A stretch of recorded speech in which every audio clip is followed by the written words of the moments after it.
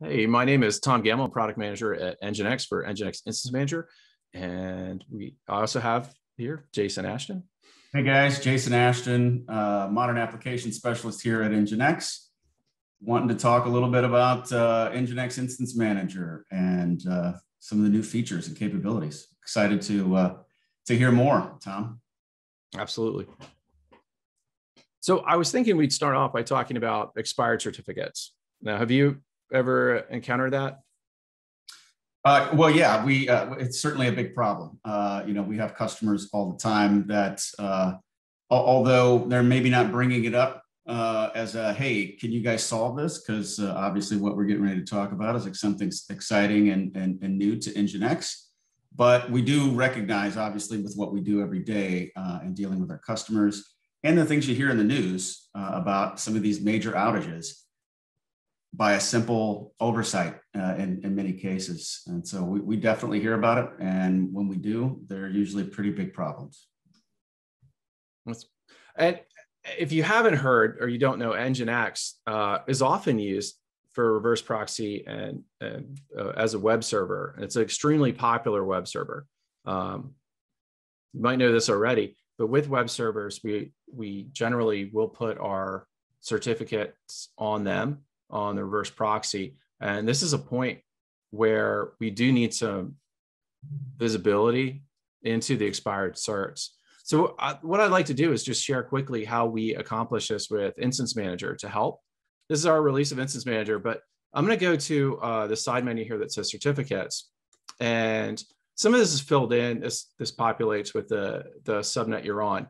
Um, but I am going to go through and scan it. I'm just going to Let's see, well, maybe there's some other ports. I'm gonna hit start new scan. And this is gonna pull back uh, anything that's listening on the IP address uh, hmm. that has certificates. And it's gonna tell me also uh, how many days it expires and the, the remaining days. Oh, that's cool. Oh, we see. Oh, look, we did get one on 444. Um, now, in this case, it looks like it's pulling the it's this manager itself. Um, but we do have one on uh, dot eight and dot 10.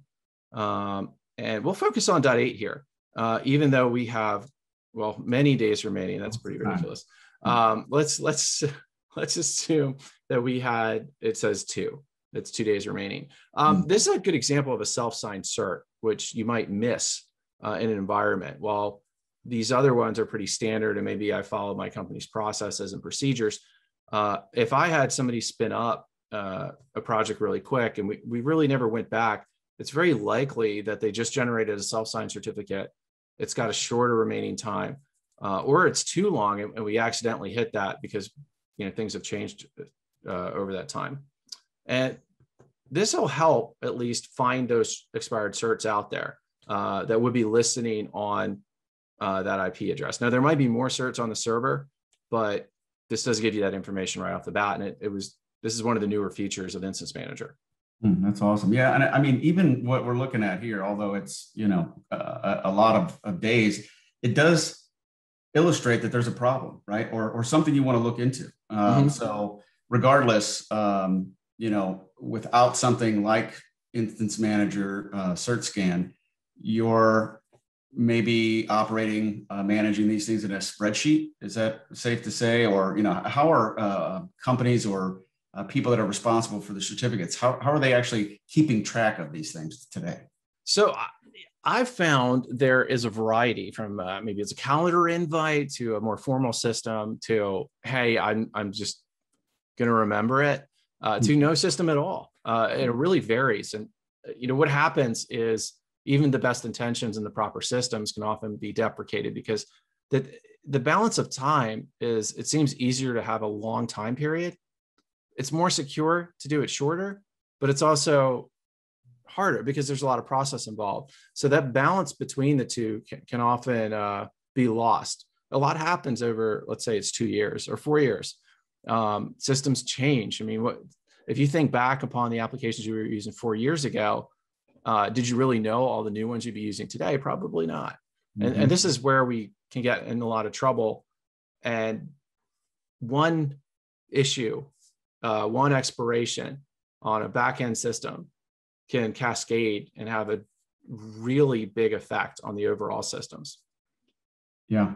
Yeah. And, you know, I, I think it's important that, you know, anyone who's maybe watching this understands that if you don't really know the answer to how your organization is managing these certificates, um, it's it's a problem, uh, and and it's not something that's going away or slowing down. You know, these these things are absolutely 100% a part of your uh, your you know your web applications and security and everything else, right? So this is very critical stuff.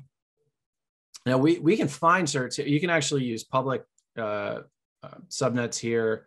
Uh, this can be run through an API call. It can be scheduled as a cron job or another system could call it whenever it wants to. So uh, hmm. it's meant to be run periodically. It's also optional. Uh, this doesn't have to be used to, to experience instance manager, but for our dot eight here, this is actually one of our managed instances. Um, so I'm going to go to the inventory screen and we're going to find it is the placentas one. And I'm going to go to edit now I know because I know where this one is. It's right here. Uh, our certificate is right here. So the feature we've added is, okay, if I know it's expired, what do I do next? How do I replace it? We've added a functionality where we push uh, contents out one way. And I'm able to go in here and say, all right, I want to update that certificate. I'm going to put in the contents. I'm going to hit upload. Now I'm not going to do it because I, you know, I can wait around for 2000 days uh, with this guy, but uh, I would hit upload and it would upload and put that file there. And I can do the same with the key. The, you might ask, wait a second, I'm not sure I want anything publishing there. And in fact, we don't publish there unless you add that directory into an allow list on the agent. So by default, you can only publish inside the etc Nginx directory, uh, but you can add them. And now you have the ability to not only detect and find expired certs, but also have API calls or use the UI to go out and replace them when you need to.